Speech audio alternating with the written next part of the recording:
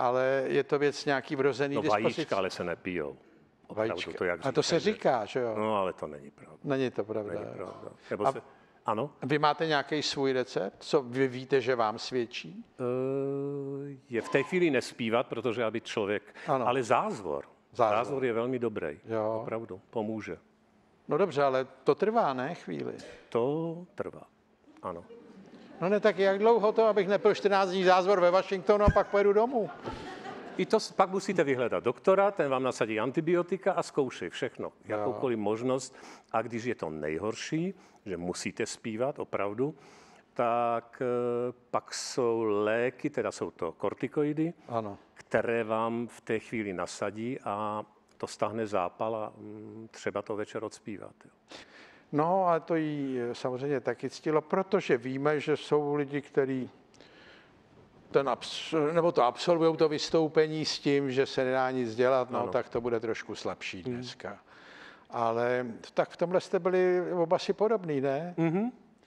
A prosím vás, když takhle jste dvojice byli jaksi zpívající, eh, to musí mít řadu výhod. Že vy něco, vy dneska taky zpíváte její písničky bez problémů, že jo? Ona mohla zpívat vaše písničky? Ne. Ne. To ne? To nikdy ani neudělala. Ne? Ne, nikdy. Ne, to si představuju tak ráno, jestli si prospěvovali třeba, Ne. nebo tak, protože u nás si smí prospěvat jenom Ivanka. No jo? A hezky, že jo? Jo, to zpívá, hezky ona se tím povyšuje, jako, ale... Hmm. A tak se na mě dívá, jako ona kontroluje, jestli já mám zavřenou tlamu a ona si zpívá, no, takže... Ne, my jsme si hodně doma nespívali, to bylo zvláštní a e, když jsem řekl, že udělám třeba e, ne operní desku, ale šanzonovou No, šanzonu. desku, to bylo zajímavé, protože já jsem se učil vedle v místnosti a Hanka nebyla ten typ, kter, která vyběhla a řekla, "Tak, tak, nejde, No, to to nejde." vůbec nedělej. A on tak pomaličku řekla, jdu si udělat kafe. A já jsem říkal, o, za chvíli je z kafe zpátky. A ta tak bylo. A říkal, ale tohle tak nemůžeš zpívat. Jo, jo, začala vám to korigovat. To bylo hezky. Jo. To bylo hezky. To No musíš tak jinak. šanzon byl její obor, že jo? Ano. No tak je pravda, ono se to, to je taky velký rozdíl, že jo? Ten operní Samo. zpěv a Samo, tak dále. protože operně nemůžete šanson dělat. Ale já se pamatuju, jsem se, jsem se učil doma písničku Jaká to nádhera, ať závrať má ta nádhera. A já doma zpíval, ať závrať má ta nádhera. On říkal, to nemyslíš vážně. Teď jste mě zranili jenom těma ukázkama. A on říkal, to musí být má nádhera. Jo, vy jste měli takovýhle jako Krátký. tyhle ty podrobnosti k tomu. hm. A co mě opravovala, to bylo vždy hezký, je, protože e, ve slovenštině řeknete jedu, tam není jedu a, a jdeš a jedeš, Ano. takže jdeš. Jdeš. Takže já si mi řekl, tak já teď uh, um, půjdu, a, ona, a jak půjdeš? No pěšky. No to asi těžko půjdeš pěšky, nebo jak to bylo? Půjdu pěšky, ale jedu, jedu taxíkem. A ona mě vždy opravovala, že to není správně. Správně, jo, správně, Jsem se přes- učil. Ale no ne, za prvé nedospívám a za druhý nejen, že někdy je vysoký ale on je ještě dlouhý, že? Tak, A můžu se opřít třeba při tom nebo Můžete, něco? jak no? chcete. Protože mě by to pomohlo, že bych se tak jako opřel, abych ho dotáhl. Ale... Ale No, já, jsem, já jsem jedno, a to je na videu, to se můžete podívat, já jsem zažil jedno představení eh, Luciano Pavarotti, kde zpíval Cavarodosiho v opeře Toska a tam má takový krásný tón v duetu, on se a mm, držel nějaký plamínek, měl v ruce nebo co, já nevím, a zapálil paruku kolegyni. tak se opřel o tu vejšku, no takže, ale také jsem ho zažil a to byl jediný člověk, kterému všechno odpustili, protože eh, v závěru opery eh, Bohéma eh, ta partnerka jeho Mimi umírá a mm, Pavarotti si měl k ní kleknout a tam zpívá Mimi, Mimi a on nemohl vstát. A teď ta mrtvá Mimi, ta se jako probudila, pomohla mu vstát a lehla si spát. a to lidi všechno odpustili. odpustil, já věřím, jo. Tak on byl charismatický, Fenomenální. fenomenální zpěvák. Ale mm, v začátku. jsou skoupí. A my se u těch českých případů dáváme tak trošku jako pozor, protože Ano. Abyste neovlivnili No, nebo a- nevlezli do aktivního a hlavně si jako říkáme, že ty lidi taky můžou pustit jednou. Ono se líp A jako mohli by-. Za ten oceán se líp střílí. Jo, to je pravda. No ale tak a Amerika má samozřejmě dostatek toho, to je velká země s velkým výskytem, že jo? Hmm. Už jenom proto, že tam je tolik obyvatel. Takže Amerika je takový hlavní zdroj. Hmm, rozhodně. Jo. Jako byla jsem překvapená třeba v Jižní Americe, přímo konkrétně Brazílie a tady ty státy, kolik tam toho je, ale v podstatě každý druhý náš příběh začíná Spojený státy. A proč? Proč ty Jižní Já s- Americe je to slabý, nebo co? Já si teda myslím, že na Ameriku tam má hodně, vel- hodně velký dopad i ty zbraně, že tam v podstatě může vlastnit zbraň každý. Lojza, když to řeknu blbě, a není to tam nějak regulovaný, takže to si myslím, že pak má taky velkou Že to roli. má dopad. Hmm.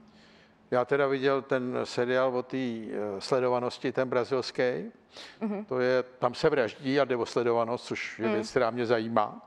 A je to teda taky pozorhodný, ale je pravda, že to je trošku jiný svět, je to jiná kultura. No. Taky ten zločin má trošku jiný pozadí a je to eh, jiný příběh. Ale Nás poslechne někdo, kdo čeká vyloženě to dokumentární vyprávění, tak ten většinou zanechá komentář. Třeba na YouTube jsou lidi Tam jsou skvělí, na YouTube když skvělí. komentář slepice, víme, že je novej.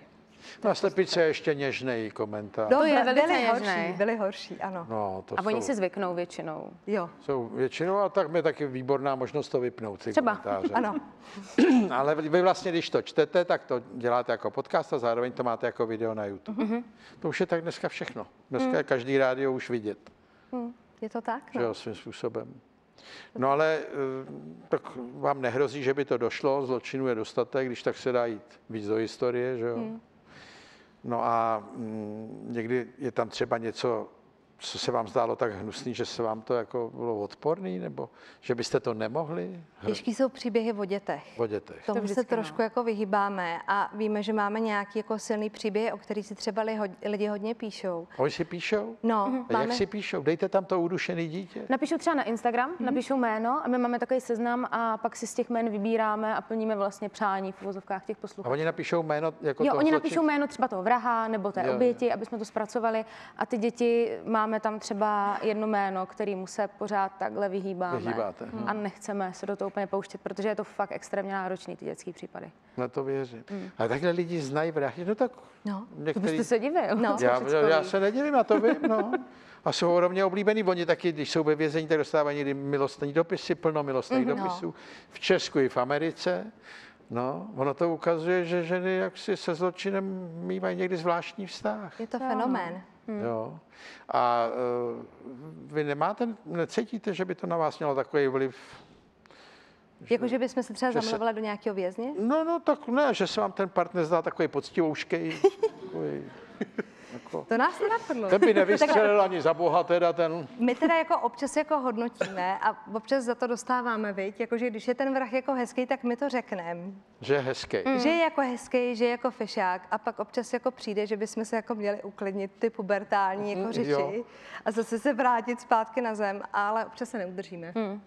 Ale ono na to určitě bude nějaký psychologický vysvětlení a že to je tam Jo, to ta, určitě. ta mužnost, ta romantika. Ty tetování, no. že jo, všude No. to je, no. no tak to tetování, tak uh, oni byli vždycky jaksi napřed, tyhle ty vrazy byly potetovaný i v dobách, kdy se nikdo netetoval, že jo. To je fakt. To je taky to, co já s tím mám ten problém, protože tady vždycky měli napsáno Bory 1950. No a teď je potetovaný každý, já si připadám jak sele, hele. Hele, ale na drahý auto se taky nedáte samolepku. Co? Na drahý auto se taky nedáte samolepku. Jak samolepku? No jakože se nepokreslíte, protože si vážíte sebe. Ne, to ne, tak já jsem to trošku promarnil, ale uvažuju o tom teď už. A Když jste na nějaký- pláži, já jsem tam jediný nepopsaný. Jako. Já taky. Taky, že jo? A já si připadám jak podsvinče nějak. Ale zase tak, Zase jste unikátní. tak růže mezi trním, Ano. tam budete hezky. Jo? Já No. vím, ale tak, a oni teda některý vypadají z dálky, že mají plíseň, ty starý, jo. A pak zjistíte, že to je mapa třeba, nebo tak. Ale, nebo to kdysi byla mořská pana, no a teď je to takový vorvaň, ale jako člověk si připadá takový zbytečně výjimečný. Všichni má, aspoň má něco malého někde, tady má křížek nebo tak. No a člověk pak si říká, že jsem úplně mimo dobu, jako. Ne, to musíte brát jako pozitivně. Jo. Jste Vy nejste dobře výjimečný. potetovaný? My jsme obě no. počmáraný. Co? My Jsme. jsme obě počmáraný. Nás to chytlo. Ne, tak vy mě tady kážete počmáraný na dlaní. utěšit, abyste nebyl smutný. A já nebudu smutný, ne, tak to není problém. Zítra půjdu a pondělí jsem celý modrý. A... Třeba Ivanka do srdíčka. Ne, já, si, šípem. já neuvažuji o mapě na zádech, Aha. A? Ale jako mapu světa, abych mohl říct doktorovi, třeba mě bolí Afrika. No.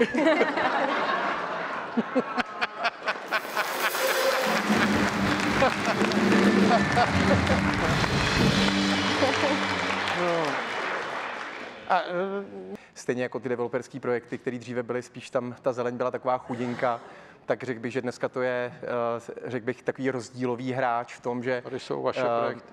v tom, že když si chci koupit hezký byt někde u nějakého nově vzniklého developerského projektu, tak už je pro mě důležitý, že tam je eh, sympatický veřejný prostor, že tam je kam si sednout, kde se setkat s přáteli a že je to zelený. No ne, tak já pamatuju, tady byl takový ten, ale to nesouviselo s zahradou, tady si všichni dělali nějaké místnosti na pití, pivnice a vinice ve sklepě, kam nikdy nikoho nepozvali, ale měli to připravený 30 let, kdyby někdo přijel, mm-hmm. že tam s ním budou pít víno. Eh, druhá věc je, že eh, třeba já si myslím, že ta zahrada má teda, a vy to tady někde říkáte taky, odpovídá tomu okolí. Mm-hmm. Že by to mělo vycházet z toho, v jakém je to místě nebo kraji a jaká je ta příroda okolo. No, tady třeba ovšem tohle, to, co to je. Kostarika, to je Kostarika, to, To je byl Kostarika. nádherný projekt eh, v džungli kostarický, který byl nesmírně zábavný, protože to je takový ten jeden z projektů, kam přijedete přes půlku světa a eh, když tam jako vstanete, tak řeknete, že to je všechno vlastně v pořádku, hlavně ať něco nepošlapou, že to je všechno přesně tak, jak to má být a spíš tam jako chráníte tu přírodu kolem, aby eh, neutrpěla moc tou stavbou, protože Aha. je to všechno naprosto dokonalý. Jo. A ono to tak trošku je i v těch našich zahradách. Musím říct, že eh, kolikrát si vzít to, co kolem roste, to, co kolem je a to, co kolem funguje, je daleko eh, lepší, řekl bych, postup, než tam tahat nějaký exotický cizokrajní rostliny, které tam třeba pak sokne? My si všichni dávají takový, ty, jak se to jmenuje, ty smuteční, ty No, hřbitovní. no, no, tyhle ty vrbičky nebo ty tůje Tůje. a tak dále. No, no, no. Mají všichni tůje, No, že jako tak... to rychle udělá plot a všechno No, to vypadá jak zbytov, že jo? On je to levný, eh, on je to levný a rychlý, takže Já já, tomu tom- rozumím, proč to dělají, protože neznají často nic jiného a je to nejjednodušší způsob, jak si tu zahradu zaclonit a proto tady vydáváme takovýhle, takovýhle věci, aby se lidi dozvěděli, že těch možností je mnohem víc, než Ale on v tom žije ještě nějaký, nějaký v symbioze, nějaký hajzl v té který nám že? žere ty hrušně, přesně No, tak. díky mě nemáme hrušku, no. No, no, no, je velká škoda. Ale toho nenajdete, to mě řekl zahradník, toho No. nenajdete, zase jak vymlátíme všechny tuje. No, no, no. Ale to nebyly moje tuje, ale To stačí, že má soused. To stačí, že má soused. no, on to dal schválně asi tam ty tuje, viděl, jak já mám krásnou hrušku, že jo. Tam dal to a odchází, hrušky, hrušky zase budou. No ale odešel ořech potom ještě. No. To nebylo asi. no a pak on vymlátil ty tuje, když viděl, že jsem bez stromů, tak to taky dal pryč. No. Ne, ale ty tuje, to mně přijde, že to je takový nepatřičný. Je to smutný, je to smutný a uh, proto je potřeba mluvit o tom, že je, tady mnoho jiných alternativ. Když přijdete do nějakého hobby marketu, tak tam v první řadě jsou všude vysazený ty tuje. No. Dřív, než se dostanete nikam dál, tak máte plný košík tují a nic jiného vás nenapadne. Je to uh, škoda a jsou tady, jsou tady daleko, daleko zajímavější eh, keře, který mají nějakou dynamiku, který mají daleko veselější zelenou, který kvetou dokonce, který se barvějí a který jsou lepší alternativou než ty tuje, protože ty tuje ještě k tomu málo kdo umí tak dobře stříhat, aby vydrželi, řekněme, 20 let tu clonu dělat, takže většinou stejně po deseti letech začnou reznout, nefungují, lidi je no, pokácejí a a slony. všechny ostatní stromy. A ještě k tomu ty hrušně jsou tady pak. No. Ale co si myslíte o habru? Eh, Já Habr zbožňuju, Já eh, je to, je to za mě, je to, je to za mě, je to za mě ten, ten, ten, ta alternativa, která je v pořádku, do, třeba zrovna do toho živého plotu. Na druhou stranu takový to, eh, že si celou zimu drží listí, to jste asi zjistil, že úplně pravda Drží, není. ale je hnědý a poměrně průhledný. No. Je to takový pseudolistí, jako je to vzpomínka na listí vlastně. Tak. A pak to spadne a za 14 dní už má zase nový, ale že by jako se řeklo, že tam skrz to není vidět celý to rok, to nejde. No. Ale já to dělám tak, že v zimě nevycházím, tím to řeším. Což je škoda, protože právě zahrada v zimě může být eh, ohromně zajímavá, když v ní je co dělat. Že jo? No to Sauníčka, jezero, otužování.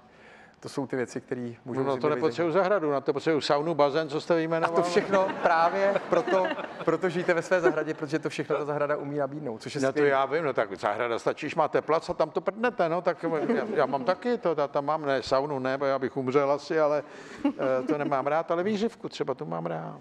No. Ta zahrada v tomhle samozřejmě to je jiný problém, ale myslím si, že se to zlepšilo, že dřív teda lidi tam vlastně dali tůje, pak bazén teda, to bylo taky. My prý máme nejvíc bazénů v Evropě. Psů a to Psů a bazénu? No, no, je to To tak. my máme asi hodně i psů v bazénech teda. To si dovedu představit. No. On ten není problém s těma bazénama až takový jako to, že ty bazény jsou špatně umístěný v té zahradě, že většinou je to první věc, která se do zahrady dá. Ještě k tomu eh, v Čechách existuje takový to spojení, že bazén rovná se kryt na bazén, obrovský, který Ano. si zacloníte všechno, takže ty lidi si koupí ty drahý francouzský okna, za který zaplatí do těch obýváků a pak si místo, aby koukali do té zahrady, tak si přímo před to dají vlastně ten, ten, ten skleník, ten okurkovník, že jo, na ten, na ten, na ten bazén a koukají do toho. Přitom se ten bazén dá umístit do zahrady velmi dobře, ale nebude prostě to první věc, kterou vidíte a díky který pak nevidíte vůbec nic jiného. No a podívejte, já mám takovou jednu svoji zkušenost zahradní, oni se všichni taky oplocujou. Mm-hmm. Já říkám, to máš fajn, že na tebe nikdo nevidí, ale ty taky nikam nevidíš. Protože když na tebe nikdo nevidí, tak ty taky nikam nevidíš. Jo? Tak to přesně je. Mazanej, ne? Krásný. Ale eh, s těma bazénama, tak tohle, to třeba ta Kostarika, nebo to, tak to je o něčem jiném, ale někdy vidíte, že ty lidi mají malý pozemek, ale narvou to tam taky, protože se chtějí asi v létě koupat. Máme tady asi 8 tropických dní vždycky. A eh, já vždycky doporučuji, ať si počítají koupací dny. Je to, je to i ten důvod, proč dneska jsou na vzestupu ty koupací jezera, který neza, vlastně ni- ničím nezakryjete a dobře se na ně kouká, takže nemáte pocit, že jste vyhodil Jezírko. prachy. Uh, jezera, ono je to větší, ty jezírka, když se řekne jezírko, tak člověk vidí jakou tu louži prostě někde s Ne, nějakým ne, vodníkem, ale takový ty bio, biotopický jezera, který dneska už se dokonce umí vytápět na nějakých 30 stupňů, takže už to vlastně dokonce umí být i docela komfortní koupání, tak uh, tam si myslím, že ta žalost nad těma vyhozenýma penězma není taková, protože je furt na co se kouká, takže aspoň nekoukáte na I když se nekoupete, je na tak je na koukat. co koukat. Pijou to ptáci, A můžu psy. tam chytit i nějaký přírodní plísně, že jo? No, nebo to, můžete tam chytit žáby, můžete tam žáby chytit eh, nebo užovky nějaký- a tak dále. To no ale počkejte, tohleto jezír, jezero teda, nebo radši říkat, aby si lidi nepřizali, no tak eh, to se taky ale musí tam vyhloubit, že jo, zavést to vytápění a tak dále. No, no, tak jako... eh, A starost to, bo to je, taky. jo. je, je o to taky starost. To je problém, no. No ne, tak já vím, některý lidi to mají místo dítěte, jsou furt u bazénu, malej tady tohle. Tak jako dokud jim to přináší radost, tak je to v pořádku. Jo, to je dokud to pravda. jako nejsou nervózní, tak ať to dělají, že jo? Když eh, Bůh ví, kde by jinak tu svoji energii potom, že jo, dámy, hmm. kde by ji třeba pouštěli, že jo? No tak, Zaplať mám za bazén. no, na tyhle dvě pozor. prosím vás, ale uh, prosím vás, já v městské části Praha 5, Aha. tam na podzim přijde asi 10 chlapů v oranžových vestách. Uh, mají, To budou určitě zahradníci. mají ty bzučáky ne, a uklízejí listí tak, že tam foukají listí asi tři hodiny nebo čtyři na hromady. Je to šílený kravál, ale šílený. A udělají ty hromady, pak se čeká, až přijde to auto pro to listí a mezi tím to vítr rozfouká do původní verze, takže odvezou takovou poloviční hromadu, než nafoukali a jdou foukat jinam. Ale eh, tak oni se taky s váma raději, ne městský části. A... Eh, Městské části se raději, ne úplně o těch borcích v těch eh, oranžových vestách, ale raději se s náma o tom, co sázet, co budovat, aby se o to starat uměli. No. A je to nesmírně důležitá otázka, protože No. vy musíte vědět, s kým tam zacházíte. A zahradníků, kvalitních zahradníků je strašně málo. Bych byl hrozně rád, když tady takhle o tom mluvíme, kdyby se více lidí hlásilo na zahradnické školy, protože ten, ten obor je nádherný. Je ná- to je o něj obor. zájem, že? Končí tam prostě uh, pětkaři, lidi, kteří se nedostávají nikam jinam, kteří to nakonec eh, třeba nedělají, ale aby někdo s láskou šel studovat tenhle ten obor a fakt se mu věnoval, takových lidí je opravdu málo a já bych byl hrozně rád, aby to bylo jinak, protože A dneska vykon- je zájem o zahradníky No, je přece. to málo. Chtělo by to víc. Většinou zahradníky Ne, dělají lidi. jsem jako najímat si zahradníky. No, je, to je určitě velké, jako o každý No, řemesla. no. Jako nakonec o každý No. řemesla dneska. Ale většinou k vám přijde někdo, komu nešlo stavět a tak si řekl, že to zkusí aspoň s tou zahradou, což je samozřejmě Aha. špatně, protože ta zahrada, tam, tam je potřeba určitý cit pro ten obor.